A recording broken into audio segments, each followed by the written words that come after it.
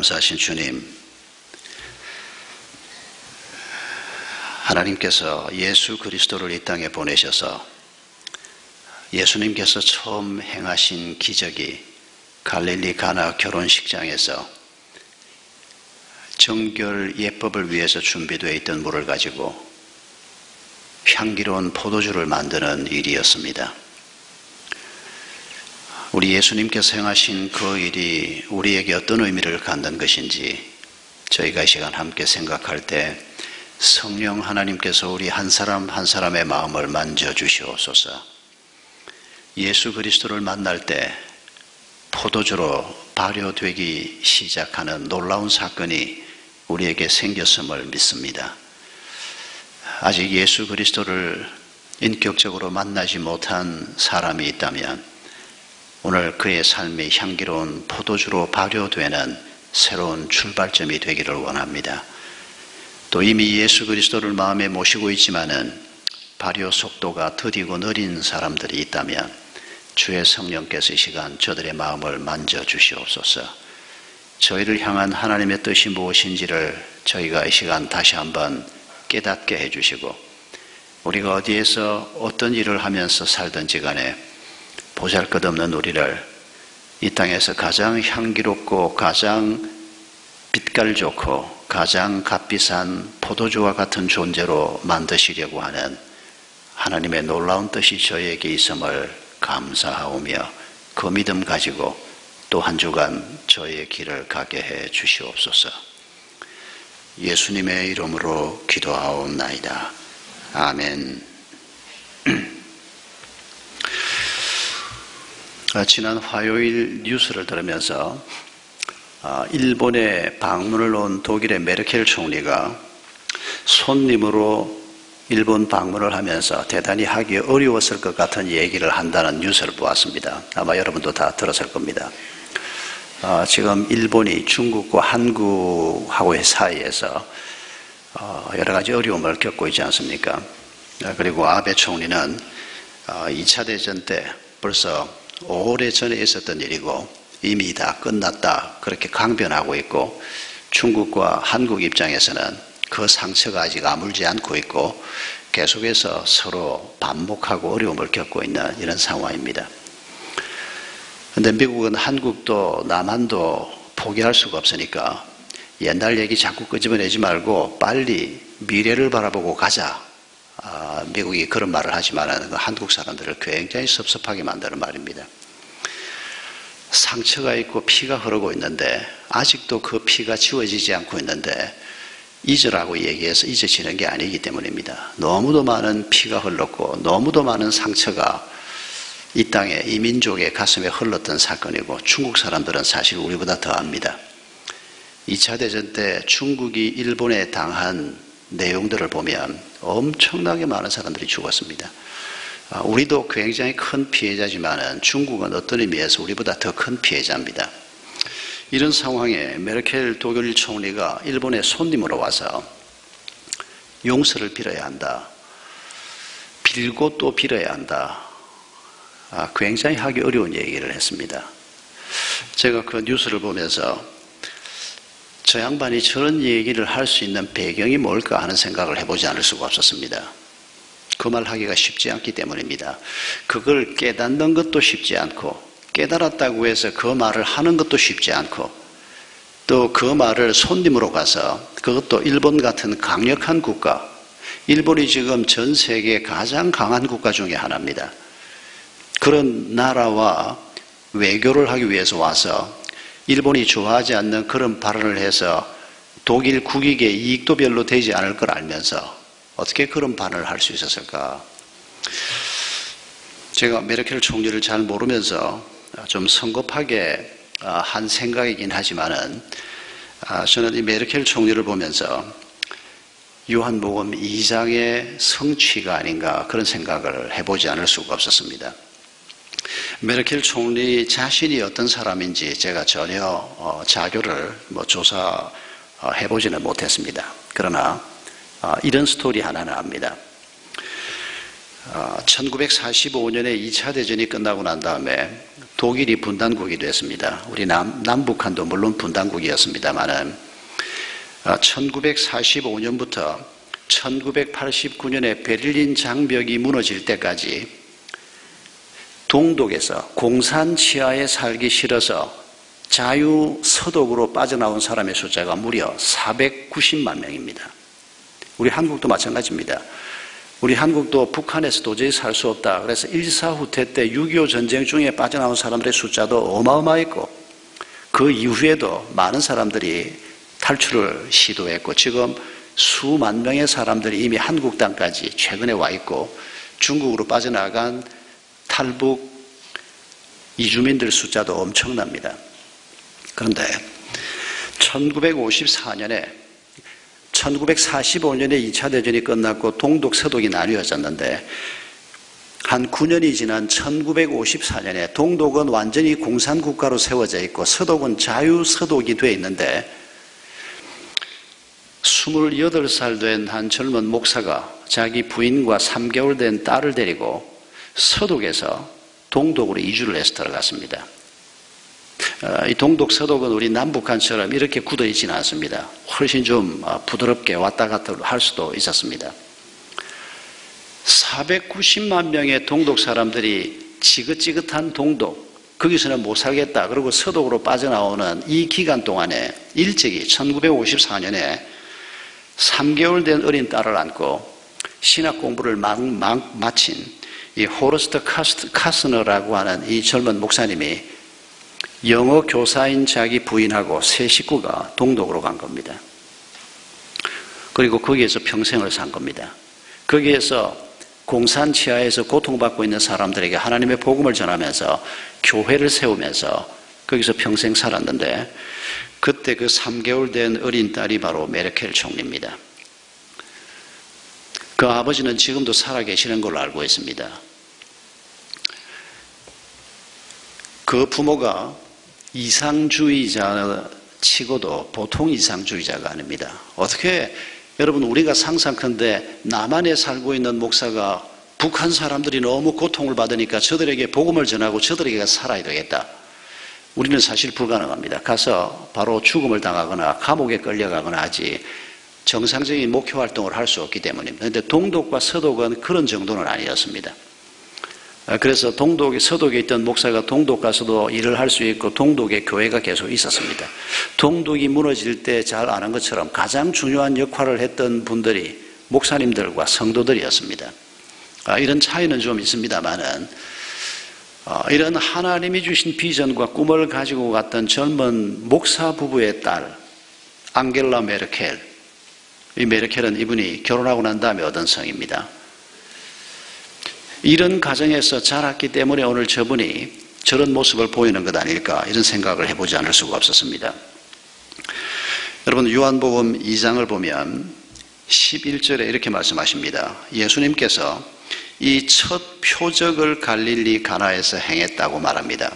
표적이라고 하는 말은 번역할 때 주로 기적으로 번역되는 단어입니다. 대부분의 성경에서는 기적으로 번역합니다. 드물게 신호로 번역하는 성경들이 있습니다.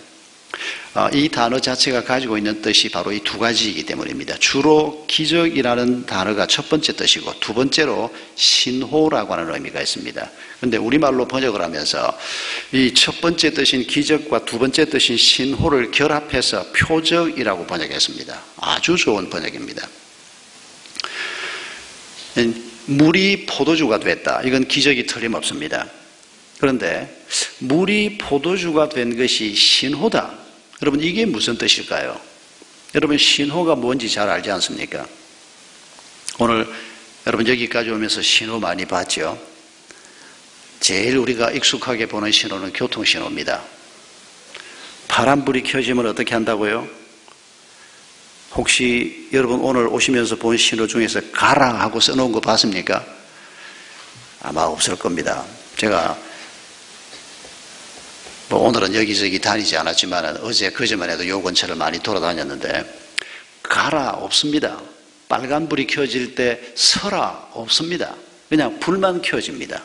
신호만 켜집니다. 그런데 우리가 그 신호가 가지고 있는 메시지가 뭔지를 잘 압니다. 어릴 때부터 우리가 배웠기 때문입니다. 그래서 빨간불이 켜지면 멈추라. 여러분, 이게 신호와 그 신호가 가지고 있는 메시지입니다.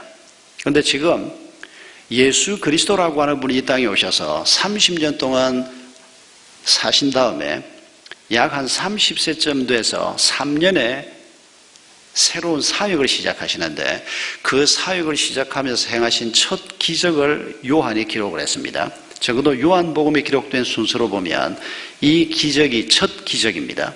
그런데 이 첫 표적, 이 기적을 지금 요한이 뭐라고 기록을 하고 있는 거니까 신호라고 표현하고 있습니다. 누가 누구에게 보내는 신호입니까? 하늘에 계신 하나님께서 이 땅에 있는 우리에게 보내는 신호입니다. 이 신호의 메시지는 뭡니까? 물이 포도주가 된다는 것입니다. 물이 포도주가 된다는 것이 이게 무슨 메시지가 되는 겁니까? 여러분 오늘 본문에 보면 이 물을 6절에 보면 결례용 물이라고 얘기합니다. 유대인들 집 입구에는 항상 정결 예법을 행하기 위한 물이 준비가 되어 있습니다. 밖에 나갔다가 들어오면 현관 입구에서 가령 뭐 시체를 만졌다. 혹은 뭐 뭐를 보았다. 구약 성경에 보면 이 정결 예법이 있습니다. 그러면 그 예식을 따라서 손을 씻기도 하고 몸에 뿌리기도 하고 어떤 경우에는 목욕도 해야 되고 물론 목욕 경우에는 현관 입구에서는 못 하겠죠. 이 정결 예법이라고 하는 게 구약 성경에 나와 있는 것뿐 아니고 후대 사람들이 계속해서 정결 예법을 더 만들고 더 만들어서 굉장히 많은 예법들이 있었습니다.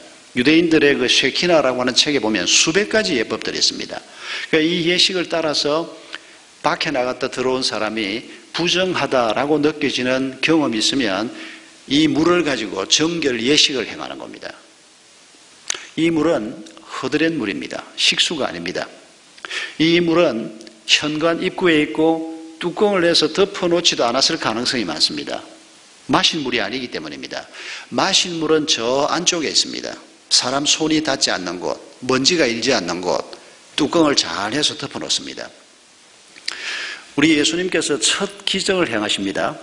그리고 이 기적은 하나님께서 예수 그리스도를 통해서 하려고 하는 일에 대해서 우리에게 한 폭의 그림처럼 보여주는 사건입니다. 바빴던 것도 아닙니다. 시간이 있었습니다. 예수님의 어머니가 이 집에 포도주가 떨어졌다는 소식을 들었습니다.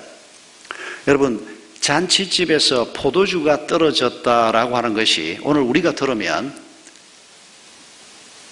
그저 음식이 조금 부족했다 이렇게 들을 수 있지만은 여러분 유대인 문화에서는 그런 사건이 아닙니다. 여러분 이 유대인 문화 속에서 우리가 생각하면 예수님 때로부터 1500년 전에 가족들이 그 땅을 먼저 받았습니다. 그리고 그 가족들이 계속해서 그 마을에 살면서 지금 1500년이 지났습니다. 그 마을에 살고 있는 사람들은 우리로 말하면 4천, 6천, 8천, 10천, 12천 계속해서 그 속에서 살고 있는 그야말로 친척들입니다. 이 사람들은 휴가 없었습니다. 요즘 문화로 설명을 해보면 이 사람들의 휴가가 언젠가 하니까 누구 집에 잔치 있는 날입니다. 뭐 7촌이든지 뭐 9촌이든지 아니면 12촌이든지 누군가의 집에 잔치가 있으면 다 한 일주일씩 일을 멈추고 같이 노는 겁니다, 그냥. 그러니까 이 잔치는 그 사람들의 결혼을 축하하는 의미도 분명히 있지만은 그냥 함께 모여서 음식을 먹고 함께 기뻐하고 축하도 해주고. 그런데 포도주가 준비된 게 부족하다. 이건 그 당시 유대인 문화로 표현하면 아주 수치스러운 사건입니다. 어떻게 포도주를 제대로 준비를 안 해가지고 잔치에서 여흥에서 그 중요한 포도주 준비를 안 해가지고 사람들이 모처럼 한번 신나게 놀아보려고 하는데 그 흥을 다 깬단 말이냐. 이건 그 문화 속에서는 그런 아주 중요한 사건이었습니다. 그런데 이 포도주가 모자란다는 소식을 예수님 어머니가 먼저 들었다는 걸 보면 여러분 예수님 어머니하고 그 집 안주인하고 친자매간이거나 아주 가까운 사이가 틀림없습니다. 여러분 그 당시 문화를 우리가 좀 이해하면 성경을 이해하는 데 이렇게 굉장히 큰 도움이 됩니다. 그런데 예수님이 서둘지 않았습니다. 뭐 여자여 아직 내 때가 멀었나이다. 뭐 예수님이 어머니한테 건방지게 여자여라고 얘기했나? 여러분 이런 것도 우리 문화로 생각하면 안 됩니다. 아, 이거 번역을 좀 더 어역을 한다면 그냥 어머니 이렇게 번역을 해도 조금도 어색하지 않는 예수님이 어머니를 낮추어서 표현한 그런 표현이 아닙니다. 예수님이 서둘지 않았습니다. 그리고 현관 입구에 있는 물을 가지고 아주 맛있는 포도주를 만드시는데 아니 먹는 사람 찝찝하게 왜 해필이면 그 현관 입구에 있는 거물을 씁니까? 안쪽에 있는 식수를 가지고 좀 만들려고 그러지. 그런데 예수님이 굳이 정결 예법을 위해서 준비된 허드렛 물을 쓰고 있습니다. 여기 아주 중요한 의미가 있습니다. 여러분 이 포도주는 성경 기록에 의하면 하나님이 직접 빚으신 유일한 포도주가 아닌가 짐작이 됩니다. 아, 그래서 우리가 이렇게 표현해 볼 수 있습니다. 이날 이 잔치에서 이 포도주를 맛본 사람들은 인류 역사상 최고의 포도주를 맛본 겁니다. 우리 하나님이 예수님이 직접 빚으신 포도주인데 그게 어떤 농부의 솜씨만 못했겠습니까? 아주 향기롭고 값비싼 포도주를 우리 예수님께서 만드신 것입니다. 그 정언자들이 나옵니다.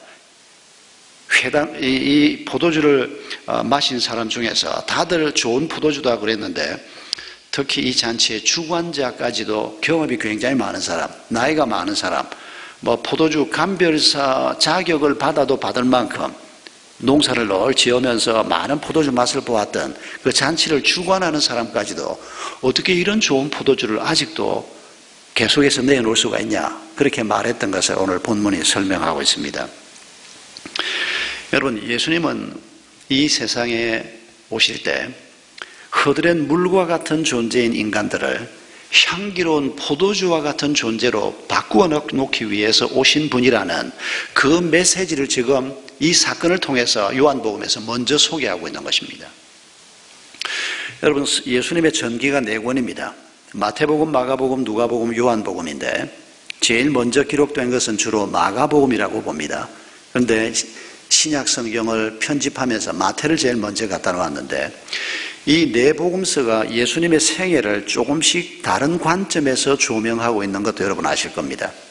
그래서 이 복음서를 우리가 별칭으로 부를 때 마태복음은 사자복음, 마가복음은 소복음, 누가복음은 사람복음, 그리고 요한복음은 독수리복음 이런 별칭을 가지고 있습니다.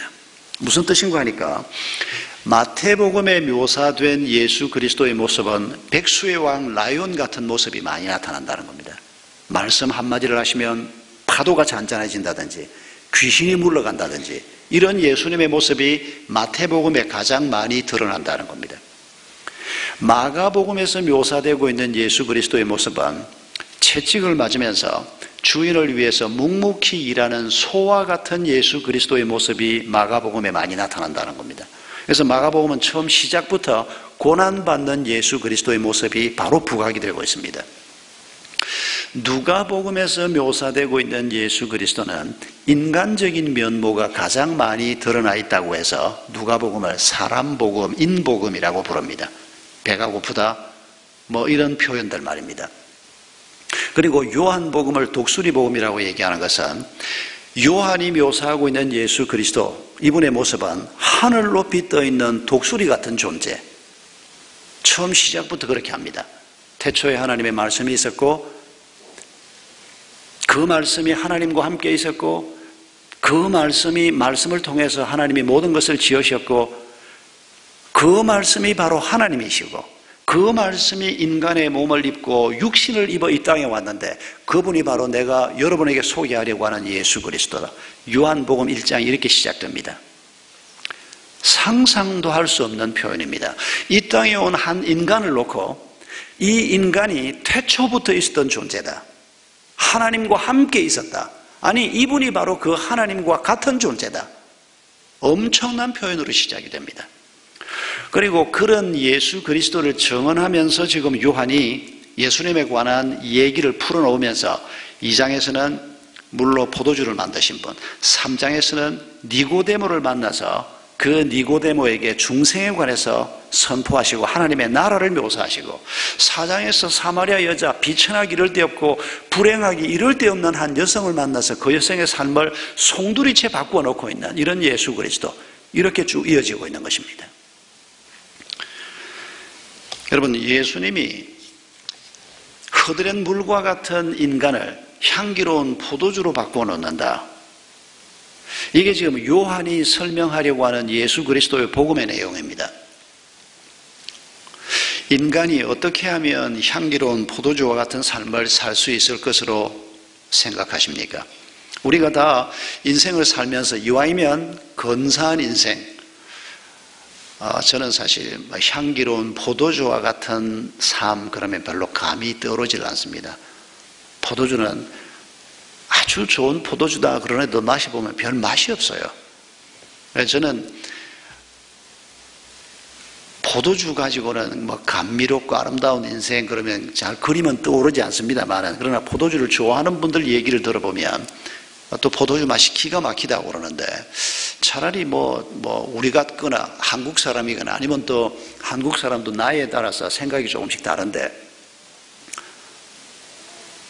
아주 맛있게 끓여놓은 된장찌개를 꽃게탕 같은 꽃게를 집어넣어서 잘 끓여놓은 아주 맛있는 된장찌개를 된장국을 한, 한 숟가락 탁 떠서 입에 넣을 때 그 기가 막힌 맛, 깊은 맛, 어릴 때부터 먹어봤던 맛.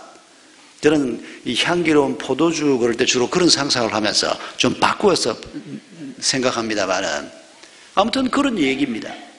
이 땅에 존재하는 모든 것 중에서 아주 맛있는 것, 아주 근사한 것, 아주 향기로운 것. 뭐가 있으면 이렇게 될 수 있을까요? 이 땅에 수많은 사람들은 돈이 있어야 된다. 건강해야 된다. 출세해야 된다. 근사한 사랑을 경험해야 된다. 뭐 이런 것들을 얘기합니다. 그 말이 아주 틀린 말은 아닙니다. 돈도 필요하고 건강도 있어야 되고 뭐 출세까지는 몰라도 그래도 우리가 안정된 직업이나 어떤 일을 하면서 일을 통해서 기쁨도 누리고 수입도 있어야 되고 그리고 이와이면 근사한 사랑도 하고 결혼도 하고 그러나 여러분에게 반쪽 진리인 것을 잊으면 안 됩니다. 왜 돈을 그렇게 벌어도 사람이 행복하지 못합니까? 왜 그렇게 뜨겁게 연애를 하고 모든 사람의 축복을 받으면서 결혼을 했는데 결혼 생활 하고 6개월 지난 다음에 출근하는 남편 뒷꼭대기에 대고 너 오늘 그냥 차에 콱 받쳐가지고 막 저녁에는 집에 들어오지 마라. 우리 한 교인이 했던 말입니다. 자기의 불행한 결혼 생활을 얘기하면서. 가진 만큼 다 가진 사람의 결혼이었습니다. 최고의 학교를 나오고 엄청난 부자들이었고 아주 외모도 두 부부가 아주 출중한 사람들이었습니다. 그런데도 그들의 결혼 생활은 뜨겁게 연애를 몇 년 동안 하고 결혼을 했는데도 6개월 만에 박살이 나버렸습니다. 여러분, 돈도 있고, 뭐 이런저런 걸 다 가지고 있는데도 불구하고 사람이 행복하지 못한 가장 중요한 이유가 뭔가? 왜 인간이 향기로운 포도주와 같은 삶을 살지 못하고 흐드렛 물과 같은 인생을 사는가? 흐드렛 물은 한 번 쓰임을 받고 난 다음에 시궁창으로 버려지는 겁니다. 어디, 어딘지도 모르는 시궁창으로 버려지는 겁니다. 여러분, 그 이유를 우리가 밝히 알아야 합니다. 그 이유를 성경은 명확하게 설명하고 있습니다. 죄 때문이라고 얘기합니다. 창세기 3장에서 맨 첫 번째 죄를 설명하지 않습니까? 죄에 대한 설명이 성경 속에 많이 나옵니다만 창세기 3장에 우리의 조상 할머니 할아버지 아담 하와가 하나님이 먹지 말라고 한 먹으면 정령 죽을 것이라고 말씀한 선악과를 따먹는 사건 여러분 이걸 잊지 말아야 합니다. 선악과를 따먹은 사건은 탐식죄가 아닙니다. 절도죄가 아닙니다. 창세기 3장 5절을 보면 뱀의 모습으로 나타난 사탄이 먼저 하와에게 이 열매를 먹으면 당신의 눈이 밝아져서 어떻게 된다고요? 하나님처럼 될 것이다 라고 유혹했고 먼저 하와가 그리고 이어서 아담이 그 열매를 따먹을 때 그들은 하나님처럼 되고자 그 열매를 따먹었던 겁니다. 그게 최초의 범죄입니다. 이 범죄는 모든 것의 기초인 범죄 혹은 기본적인 죄라고 말할 수가 있습니다. 내가 하나님처럼 되고 싶다. 여러분, 하나님처럼 된다는 말을 우리가 뭐 논문을 뭐, 뭐 읽어봐야 알 수가 있고 무슨 신학 서적을 읽어봐야 알 수 있는 얘기가 아닙니다. 창세기 3장에서 아주 간단하게 설명합니다.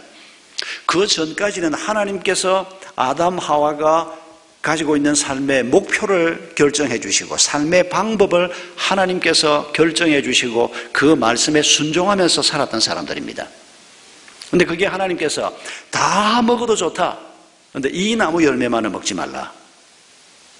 여러분 지금도 이런 게 있는 거 여러분 아십니까? 우리 삶 속에서 먹어도 좋다. 근데 이건 아니다. 하나님께서 이렇게 남겨놓은 부분들이 있는 것 여러분 경험하고 계시죠? 그런데 지금 아담 하와가 어떻게 하는 거니까 지금까지는 하나님이 그걸 정했지만은 이제 더 이상 하나님이 그거 정하지 말라는 겁니다. 내가 정하겠다는 겁니다. 내가 뭘 먹을지, 내가 뭘 안 먹을지, 하나님이 더 이상 내 인생에 개입하지 말라는 겁니다. 여러분, 그게 최초의 범죄입니다. 하나님을 하나님의 자리에 있지 못하게 하는 겁니다. 그리고 내가 하나님 자리에 올라서는 겁니다. 내가 하나님의 자리에 올라서는 줄 알았는데 그 사건 속에 들어가 보니까 자기가 하나님이 되지 못합니다. 왜냐하면 우리가 그렇게 똑똑하지 못하기 때문입니다. 내가 좋아하는 돈이 하나님 노릇을 하고 내 상처가 나를 좌지우지하고 내 열등감이 나를 좌지우지하고 결국 하나님은 왕좌에서 하나님은 우리 삶의 중심에서 밀려나고 내가 그 왕좌에 있는 것 같았는데 엉뚱한 것들이 나를 지배하고 통제하는 여러분 그게 죄입니다. 그리고 그 죄의 결과로 우리에게 주어지는 것이 죽음입니다. 성경이 죽음을 항상 세 가지로 얘기하지 않습니까? 육체의 죽음은 우리가 뭔지 잘 압니다. 근데 영적 죽음을 잘 모릅니다. 아담 하와가 그 선악과 나무, 나무 열매를 따먹는 그 순간에 그들은 하나님과의 관계가 끊어지게 됩니다. 더 이상 하나님은 결정권자도 아니고 하나님은 더 이상 주인도 아니고 이제 내가 주인이 되는 하나님과의 관계가 끊어지는 이걸 성경은 영적 죽음이라고 얘기합니다. 영적 죽음과 육체의 죽음이 만나는 그 자리가 영원한 죽음의 시작입니다. 여러분, 하나님께서 우리 삶의 중심에 계시지 않으면 하나님께서 우리를 다스리시고 하나님이 우리를 인도해 가시는 이런 삶의 자리에 있지 않으면 우리가 이 땅에서 가질 만큼 가져도 배울 만큼 배워도 심지어 내가 꿈꾸는 것들이 이루어졌다고 해도 그게 아무것도 아닌 것을 결코 우리를 만족시킬 수 없다는 것을 우리가 곧 배우게 됩니다. 깨닫게 됩니다. 인간이 향기로운 포도주와 같은 삶을 살지 못하는 것은 소유가 부족해서가 아닙니다. 환경이 나빠서가 아닙니다. 인간이 최초로 범죄한 곳은 지옥이 아니고 낙원이었습니다. 가장 좋은 여건 속에서 그들이 스스로 하나님이 되고자 하는, 스스로 모든 것을 주관하는 자가 되고자 하는 이 죄로부터 시작해서 인류가 하나님 없는 삶을 살게 되고 성경은 그 과정이 어떤지를 창세기 3장부터 서서히 보여주고 있는 것입니다. 예수 그리스도가 이 땅에 오셔서 하신 일이 무엇입니까? 십자가와 부활이라고 하는 두 단어로 표현할 수 있는 복음. 예수 그리스도의 복음의 핵심은 예수님의 십자가와 부활입니다. 여러분, 예수님이 십자가에 비참하게 달려있는 그 모습을 볼 때 우리가 기억해야 할 것이 무엇입니까? 왜 예수님은 그렇게 참혹한 모습으로 십자가에 달려야 합니까? 많은 사람들은 그 십자가의 의미를 제대로 알지 못하고 자기 마음대로 말합니다. 심지어 비난하기도 합니다. 하나님이라고 하는 존재가 그의 아들 예수라고 하는 이분을 이렇게 참혹하게 죽이는 잔혹한 하나님이라고 비판하는 사람들도 많이 있습니다. 아닙니다. 여러분, 그런 얘기가 아닙니다. 예수님이 십자가에 달려 죽는 것은 죄 없으신 그분이 우리의 죄의 값을 대신 치르는 죽음이라고 성경은 얘기하고 있습니다. 여러분, 예수님이 그렇게 참혹하게 달려있는 그 십자가를 떠올릴 때마다 우리가 생각해야 하는 것은 하나님을 인정하지 않고 자기가 주인이 돼서 사는 삶의 비참함이 바로 그 십자가에 달린 예수님의 모습인 것을 기억해야 합니다. 예수님을 모르고 하나님을 모른다고 해도 그렇게 참혹하진 않지 않느냐. 그렇게 생각하는 분은 여러분 좀 더 눈이 열려야 합니다. 뭐 내가 아는 친구는 이거 우리 교회 집사님이 저한테 한번 했던 얘기인데 아, 내 친구는 법 없어도 살 사람이고 부부간에 너무 검설도 좋고 아이들도 너무 잘 양육을 했고 어디 가나 칭찬받는 사람이고 능력도 있는 사람이고 우리 교회 웬만한 집사보다 낫고 그 사람 그리스도인 아닙니다. 그렇게 보는 눈이 없는 사람이 무슨 그리스도인입니까? 여러분 어떤 사람이든지 간에 그 사람의 가슴을 열고 우리가 그 내면의 소리에 귀를 기울여 보면 그런 사람 없습니다. 법 없어도 살 수 있는 사람, 부부간에 검술 좋은 사람, 예, 그 보기에는 그런 것 같지요. 그런 사람 없습니다. 이 세상에 단 한 사람도 있을 수가 없습니다. 우리가 다 이기적이기 때문입니다. 왜 수많은 결혼 생활이 문제가 생깁니까? 우리는 뭐 성격이 어떻다 그러고 뭐 돈이 어떻다 그러고 이런저런 이유를 댑니다만 성경은 근본적으로 자기 중심적인 생각 때문에 부부관계만이 아닙니다. 모든 인간관계에서 하나님 중심이 아니고 자기 중심적인 사고방식을 가지고 살기 때문에 바로 그게 죄이기 때문에 예수님께서 십자가에 달려 죽으시는 그 대속적인 죽음 이걸 우리가 받는 것은 먼저 내가 죄인인 것을 깨닫는 것입니다. 그리고 하나님이 주관하지 않고 내가 주관하고 내가 좋아하는 것이 내 삶을 이끌어 주기를 바라는 그게 무서운 죄인 것을 깨닫는 것입니다. 그래서 그 죄를 버리고 내 그 죄를 사하는 것은 예수 그리스도의 십자가의 대속적인 죽음 외에는 다른 길이 없다는 것을 인정하는 것입니다. 그래서 그 예수 그리스도를 나를 위해서 대속의 죽음을 죽으신 예수 그리스도를 마음에 받아들이는 것, 그게 믿음입니다. 예수님이 부활하셨다는 것이 어떤 의미를 갖습니까? 죽음을 이긴다는 것입니다. 죽음이 뭡니까? 죄가 우리에게 갖다 주는 겁니다. 죄를 이기고 죽음을 이기는 사건이 예수 그리스도의 부활 사건이었습니다. 여러분, 마태복음 16장 10절 이하에서 예수님이 3년 사역을 마치고 교회를 세우겠다고 하는 선포를 빌립보 가이사라에서 하시면서 이 반석 위에 내 교회를 세우겠다. 바로 우리가 교회고 우리의 가정이 교회고 우리의 목장이 교회고 우리 은혜 샘물 교회가 하나님이 말씀하시는 바로 그 교회입니다. 베드로가 주는 그리스도시요 살아계신 하나님의 아들입니다. 그리스도 메시아라고 하는 그 말이 바로 우리의 죄값을 대신해서 죽으시는 그분이 바로 자기 눈앞에 있는 예수 그리스도라고 하는 고백을 베드로가 한 겁니다. 이 반석 위에 내 교회를 세우겠다. 그리고 이어서 주신 말씀이 무엇입니까? 음부의 권세도 내 교회를 이기지 못할 것이다. 음부의 권세는 바로 죽음을 의미하는 것입니다. 죽음이 우리를 이기지 못한다는 것입니다. 죄가 우리를 이기지 못한다는 것입니다. 아직도 우리가 우리 현실 속에서 우리가 죄를 이기지 못하고 회개를 하는데도 불구하고 또 같은 죄를 범하고 이런 문제가 우리에게 분명히 있습니다. 하나님이 그걸 모르시는 건 아닙니다. 그러나 여러분, 낙심하지 말아야 합니다. 우리가 예수 그리스도가 날 위해서 죽으셨고 예수 그리스도가 부활하신 그 사건이 죄를 이기고 죽음을 이기는 사건이요. 나 또한 그 예수 그리스도 안에 있게 될 때 죄를 이기고 죽음을 이길 수 있는 자다. 이 믿음을 가질 때 마치 포도주가 발효하는 것처럼 발효가 시작되는 겁니다. 여러분, 포도주는 담가 놓고 난 다음에 상당한 시간이 지나야 숙성된 맛이 납니다. 내가 어릴 때 우리 집에 포도주를 어머니가 가끔씩 담그셨습니다. 뭘 어떻게 했는지는 모르겠는데 저희 아버지가 집에서 반주를 이래 한 잔씩 하는 걸 아주 좋아하셨는데 우리 어머니가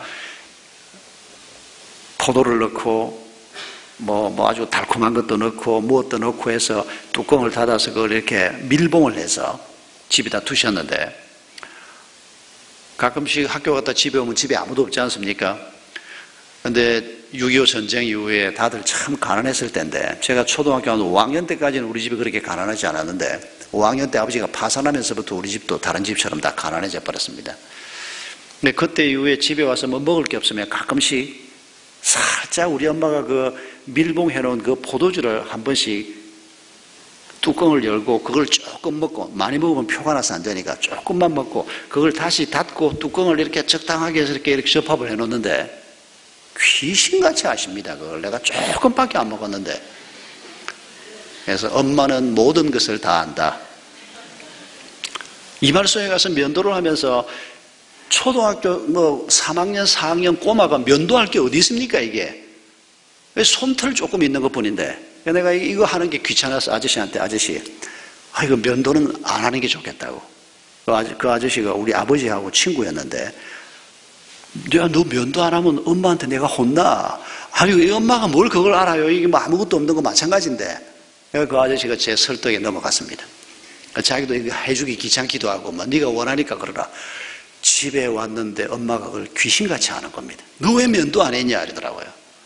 지금 내가 보면 이제 거의 보이는데, 내가 초등학교 때는 그게 안 보이는데 엄마는 그걸 귀신같이 보더라고요. 예, 그런 기억과 함께 우리 집에 있던 포도주 생각이 날랍니다. 먹어보면 맛이 없습니다. 텁텁하고 맛이 없습니다. 예, 그게 나중에 맛이 든다는 걸 그때는 몰랐는데, 한 몇 번 꺼내 먹어보다가 나중에는 아예 그냥 눈길도 주지 않았습니다만은, 상당한 시간이 지나야 맛이 나는 게 포도주입니다.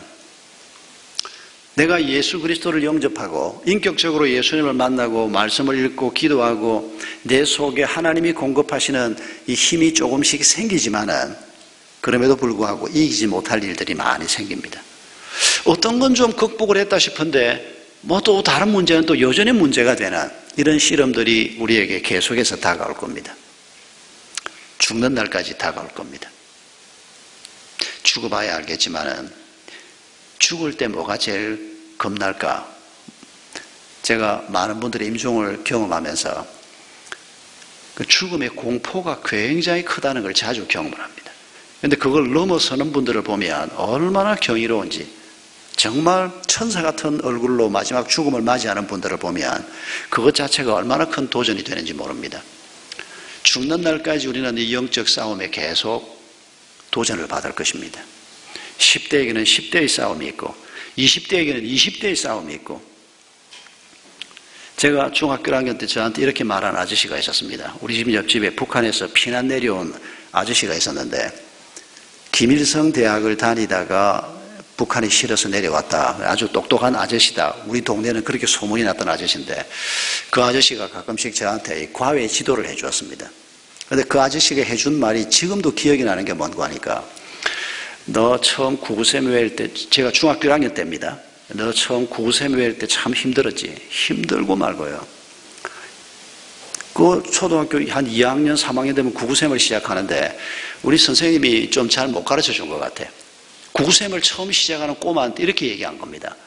너희들이 구구, 구구단을 다 외워야 되는데 잠이 들었는데 흔들어 깨워도 77하면 49가 나와야 돼. 이렇게 얘기를 했는데 2는 4, 이것도 잘 안 되는데 그걸 언제 다 외워서 자다가 벌떡 일어났어도 그걸 답을 한단 말인가. 그 공포가 중학교 1학년 때도 남아있었고 지금도 그거 생각하면 공포감이 좀 마음에 남아있습니다. 우리 선생님이 좀 잘 못하신 것 같아. 그런데 내가 중학교 1학년 때 그 아저씨가 이렇게 얘기했습니다. 지금 구쌤이 힘들어? 전혀 힘 안 들죠. 지금은 네가 중학교 1학년으로서 뭐가 힘드냐? I'm a boy, you are a girl. 그게 힘듭니다. 그건 이제 막 시작할 때거든요. 너 중2가 돼서 중학교 1학년 책을 보면 너무너무 쉬울 거다. 이거 넘어서야 하는 벽이 지금은 굉장히 높은 것 같지만은 네가 조금만 실험하면 이게 그렇게 높은 벽이 아니다. 그 아저씨가 저한테 해준 말인데 그 아저씨는 예수 믿는 아저씨 아닙니다. 평생 굉장히 중요하게 마음속에 남아 있습니다. 죽는 날까지 우리 앞에 계속해서 벽들이 있을 겁니다. 우리의 상황에 따라서 우리가 가진 문제의 종류가 조금씩 다를 뿐이지 계속 있을 겁니다. 그런데 그 벽들을 우리가 하나 넘어서고 또 하나 넘어서면서 하나님이 주시는 축복이 뭡니까? 점점 더 맛있는 포도주처럼 그걸 표현을 좀 바꾸면 점점 더 하나님을 닮아가는 거룩해지는 아버지를 닮아가는 하나님의 자녀 그 사람이 이 땅에서 가장 강한 사람이라는 것을 여러분 잊지 마십시오. 돈 있는 사람이 강한 사람이 아니고 높은 지위에 있는 사람이 강한 사람이 아니고 향기로운 포도주로 숙성되어 가는 사람. 하나님 아버지를 예수 그리스도를 좀 더 잘 닮아가는 사람. 그 사람이 가장 아름다운 사람이요. 가장 강한 사람이요. 가장 매력적인 사람인 것을 여러분 잊지 마시기 바랍니다. 우리 주님께서 그 일을 위해서 이 땅에 오신 것입니다 우리 주님께서 물로 포도주 만드는 사건을 보여주시면서 하나님이 내가 너에게 지금 신호를 보내고 있다. 이 말씀을 지금 하고 계시는 것입니다. 여러분, 빨간불에 건너가면 큰일 납니다. 언제나도 사고는 나게 되어 있습니다. 빨간불인데도 무시하고 자꾸 가는 사람들. 여러분, 하나님께서 우리에게 신호를 보내는데도 우리가 이 신호를 무시하고 내 생각대로 길을 걸어가면 결국 우리 삶은 고만하고 말아지는 겁니다. 근데 그 우리가 그래도 좀 작아도 뭐 요만큼의 삶은 있을 수 있지 않을까? 아닙니다, 여러분. 참혹한 십자가에 달려있는 예수 그리스도의 모습. 아무것도 없는, 아니, 아무것도 없는 정도가 아니고 비참하기 이를 데 없는 그게 바로 향기로운 포도주로 변화되지 못한 흐드렛 물이 걸어가는 삶이라는 것입니다.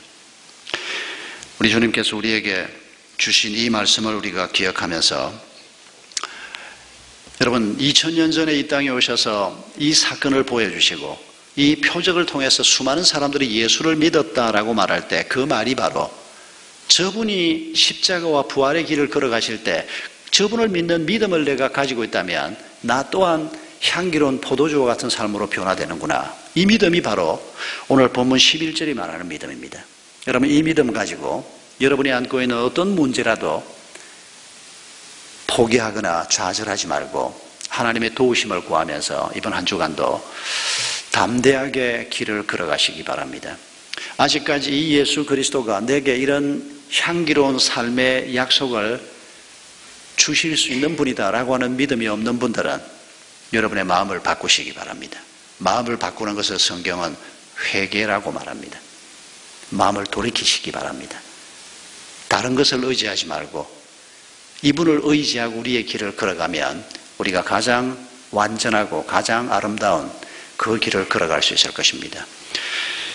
예수 그리스도께서 오셔서 주의 뜻이 이루어지는 일을 위해서 2000년 전에 수고하고 애쓰신 것처럼 오늘도 우리를 통해서 이 일이 이루어지기를 원합니다. 하늘에서 주의 뜻이 이루어진 것처럼 오늘 땅에서도 하나님의 뜻은 이루어져야 합니다. 가나 혼인잔치에서 하나님의 뜻이 이루어진 것처럼 오늘 우리의 삶의 자리에서도 하나님의 뜻은 이루어져야 합니다. 이 주님을 바라보면서 우리 함께 주님을 높이겠습니다.